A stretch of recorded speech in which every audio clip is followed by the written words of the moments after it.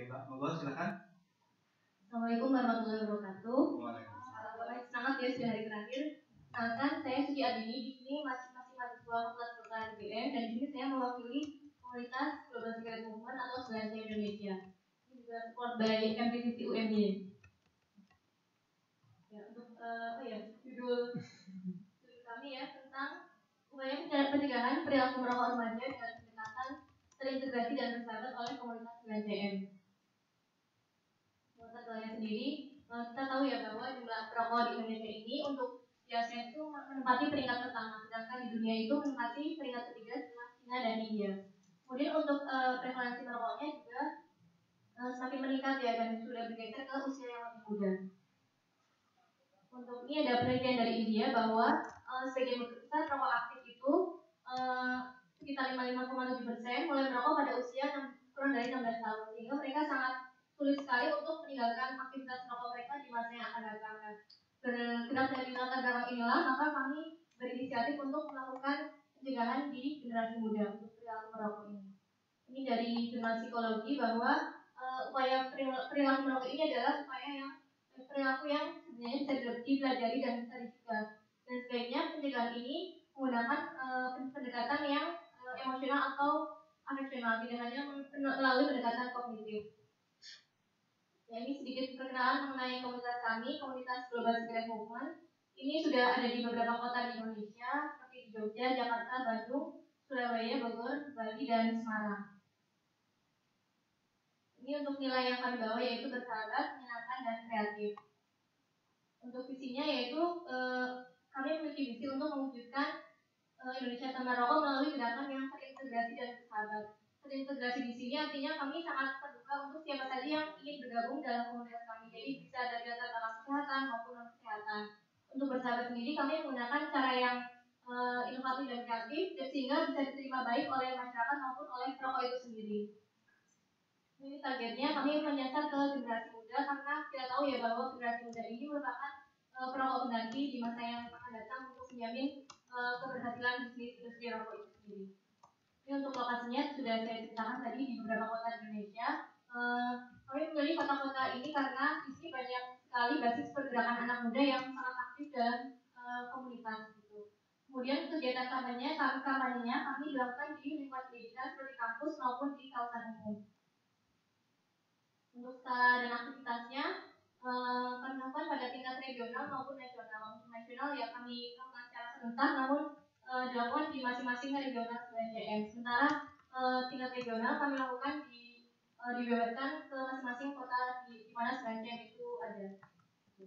Nah tentunya dalam pergerakan ini kami bergerak tidak sendiri ya bersama Smoky Agent, kemudian Muhammadiyah Tobacco Control Center UMG, kemudian GSTT, kemudian Tobacco Internasional dan masih banyak lainnya. Ini contoh agenda kami pada turnamen turnamen basket bersama Smoky Agent di Ambarumo Plaza di Jakarta untuk mengkampanyekan uh, sehat generasi sehat tanpa rokok. Kemudian ini uh, agenda kami pertama ada Challenge to Change, kemudian kelas berdasi, kampanye kreatif melalui media sosial, kajian dan advokasi, kemudian peringatan Hari Tanpa Tembakau Sedunia dan uh.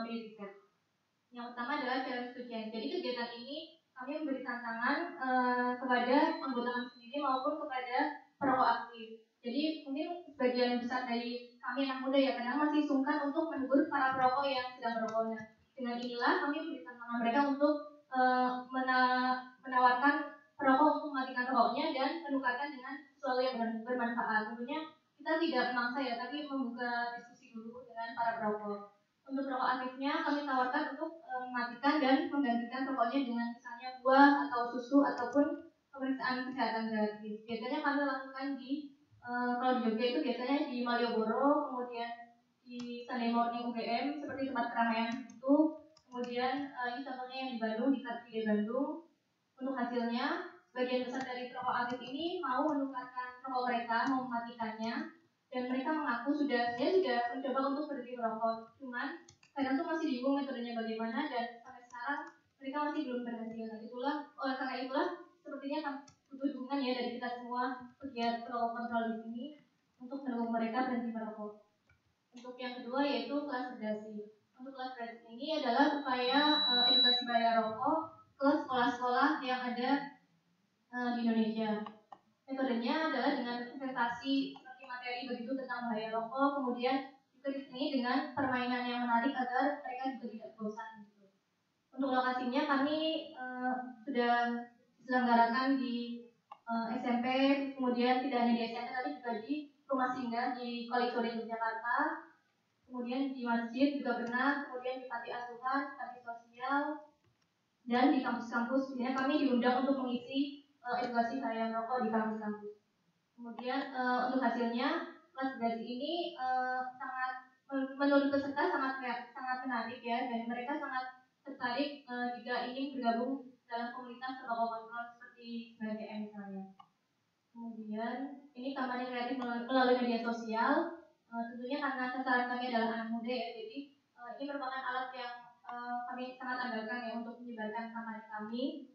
Ini contoh contoh kampanye yang telah kami lakukan uh, tentang pengendalian tembakau. Nah ini akunnya, uh, isinya tentang uh, informasi kegiatan kami dan edukasi tentang bahaya rokok. Kemudian kajian dan advokasi. Untuk uh, yang bagian kajian dan advokasi sebenarnya kami tidak sendirian, cuma hanya juga bersama dengan uh, organisasi lain seperti MCC UMY, kemudian Tito Bakal Internasional, Smoky Agent, dan masih banyak lainnya. Ini contoh kajian yang kami lakukan. Jadi kami pernah melakukan kajian baik internal maupun eksternal. Untuk internal sendiri biasanya kami mengunjungi pakar misalnya dari Prof Yai, dari Kripto Bakal Internasional. Kemudian ini ada Bu Pamela. Bu Pamela itu e, pemilik swalayan Jogja yang tidak menjual rokok di swalayannya. Kemudian ini juga kami pernah e, berkunjung ke para petani tembakau seperti Pak Sukiman dan Pak Konidi. Dan beliau-beliau ini malah justru menginspirasi petani tembakau lain untuk mengganti tembakau menjadi tanaman yang lain seperti kopi ataupun sayuran yang lebih untungnya lebih banyak gitu. Kemudian waktu persidangan dari Jogja tanpa tembakau kami juga pernah diminta untuk menjadi saksi. Waktu itu uh, JMTT dituntut uh, untuk dituntut oleh uh, Asosiasi Petani Tembakau karena dianggap merugikan kegiatan asosiasi petani tembakau itu. Kemudian Nah, ini untuk hasil kajiannya biasanya kami rilis di sosial media kami agar semua orang bisa mengaksesnya. Kemudian untuk peringatan Hari Tanpa Tembakau ini kami lakukan setiap 31 Mei. Tentunya uh, temanya berbeda uh, tergantung yang ingin diangkat pada tahun itu. Ini contoh kegiatannya, ini di Jogja, waktu itu acara Jogja Kaleran, ini kami juga tidak sendirian, bekerjasama dengan komunitas-komunitas lain, dan di sini antusiasme masyarakat Jogja juga sangat luar biasa ya, selain mengkampanyekan hidup sehat tanpa rokok juga uh, tentang aktivitas fisik gitu. Kemudian ini contoh yang hari peringatan hari tanpa tembakau di Bandung. Kemudian kami juga pernah melakukannya di pasar Bantul karena kami uh, melihat di pasar itu masih banyak ya penjual-penjual ataupun warga yang berkunjung ke pasar yang masih banyak merokok. Kemudian uh, ketika WNTD di Bandung ya di pasar Bantul kami juga uh, melakukan riset kecil-kecilan seperti ada di belakang. Ini contoh beberapa media, beberapa kegiatan yang telah diliput oleh media massa.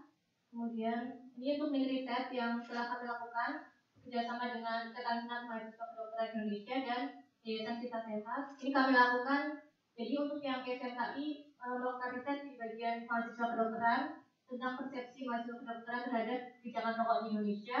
Sementara untuk yang kami dari 9CM dan Kita Sehat melakukan survei di pasar bantu. Jadi bahwa sebagian besar uh, yang mengisi kuesioner kami itu uh, tahu tentang info bahaya rokok, kemudian terganggu, terganggu dengan asap rokok, kemudian juga setuju dengan adanya uh, kawasan dilarang rokok, kemudian setuju dengan larangan iklan rokok dan bahkan rokok itu sendiri banyak yang ingin berhenti merokok. Jadi ini tinggal bagaimana kita uh, caranya mendekati rokok itu biar mereka uh, merasa tidak sendirian dalam berhenti merokok. Kemudian kesimpulannya uh, ya, kegiatan kami ini uh, terutama untuk generasi muda ya saya rasa memang perlu kita harus merangkul generasi muda dalam pengendalian protokol ini mungkin untuk yang kelas generasi karena kami selama ini belum uh, sekolah yang kami kunjungi ini belum ada kurikulum tentang gaya merokok ini. Mungkin alangkah baiknya tadi dari sisi ya bisa sharing-sharing tentang bagaimana uh, mungkin kurikulum kurikulum itu sendiri seperti apa gitu. Kemudian uh, mungkin uh, saya rasa juga di kota-kota lain banyak uh, organisasi mahasiswa atau kemudaan yang bergerak di bidang teknik ini, tapi saya rasa tuh masih bergerak sendiri-sendiri itu. Mungkin setelah acara ini kita bisa apa ya terintegrasi bersama mungkin menyusun plan ke depan uh, agar tidak berjalan sendiri sendiri gitu. Mungkin sekian presentasi dari kami. Assalamualaikum warahmatullahi wabarakatuh. Terima kasih.